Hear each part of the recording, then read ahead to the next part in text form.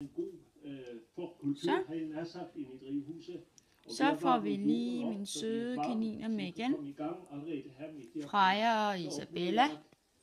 Når, når skimlen kommer, eller hvis den kommer, så er kartoflen så er at... Husk at like alle mine film ude på min YouTube med mine to søde kaniner, Isabella og Freja.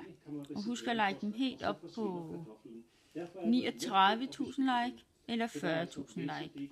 Og jeg vil blive meget glad, hvis I gør det med det samme, når I får tid til det.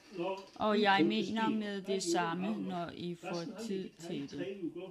Og øh, der er ingen tvivl om, at der også, vi kan gå i gang og lægge kartoflerne. Systemet her er jo meget enkelt med, med nogle, øh, nogle øh, plastrør og så nogle bindegarn. Så kan man trække fra på varme dage og give luft, og man kan selvfølgelig også trække fra, når kartoflerne skal anbringes. Og der er sådan cirka 50 cm mellem øh, de forskellige rækker, og så Ja. lægger jeg kartoflerne med 25 Ja. centimeter. Så får vi med Freja med.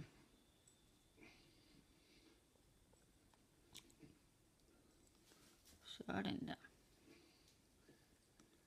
Og så, når de nu er kommet på plads, en vi lille og Freja med igen. 20 med ro hakken, så